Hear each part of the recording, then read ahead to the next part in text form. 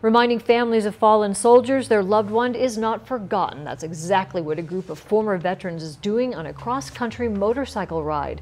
The Tribute to Fallen Soldiers Northwest Ride started in Eugene, Oregon Sunday. Today, the group made a pit stop in Missoula as they continue the journey to Arlington National Cemetery in Virginia. While in Montana, this group will be visiting families of three fallen soldiers in Helena, Bozeman, and Billings. Along the route to their final stop, they do this for 65 U.S. families. They spend an hour with each family with the goal of making sure that loved one is not forgotten.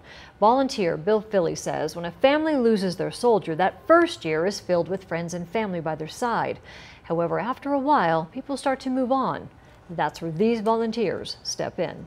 We come in typically three to 10 years. There's exceptions either way. And when we do these visits, it really gives the families more closure and to let them know that they won't be forgotten. That's what all this is about, to let them know they gave their life for our country and they will not be forgotten.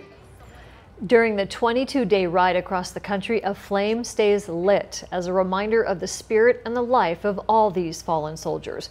In the 10 years they've been doing this ride, this group has visited more than 860 families.